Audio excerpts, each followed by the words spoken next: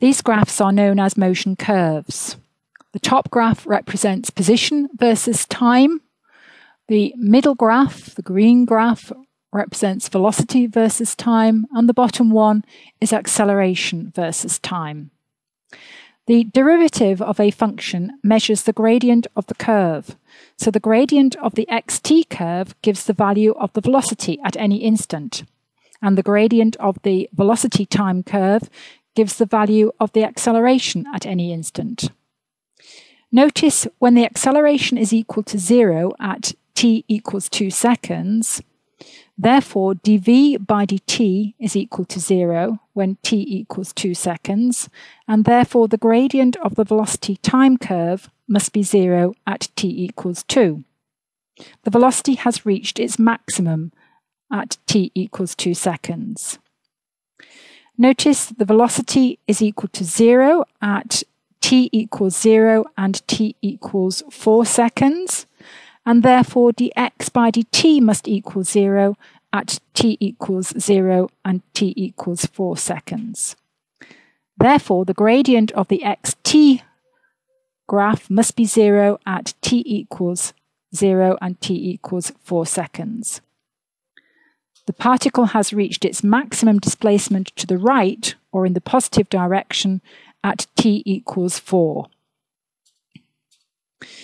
Now we can use these motion curves to draw what are known as motion diagrams. And a motion diagram shows the position of a particle at various times during the motion. So by looking at the graphs on the left-hand side, we are going to now draw motion diagrams on the right-hand side. The particle starts from the origin at x equals 0 with zero velocity but a positive acceleration.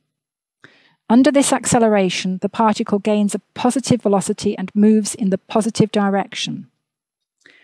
From time t equals 0 to t equals 2 seconds, x, v, and a are all positive. At time t equals 2 seconds, the acceleration has reduced to 0 the velocity has reached its maximum. And from t equals 2 seconds to t equals 4 seconds, the velocity is positive, but the acceleration is negative. Therefore, the particle is still moving in the positive direction, but it's slowing down. At t equals 4 seconds, the velocity is zero. The particle has stopped. The position coordinate has reached its maximum value. From then on, both V and A are negative. Therefore, the particle starts to move in the negative direction with increasing speed. At t equals 6 seconds, the particle passes through the origin. Notice that the displacement is zero, but the distance travelled equals 64 metres. For t greater than 6 seconds, x, v, and a will all be negative. The particle keeps moving in the negative direction faster and faster.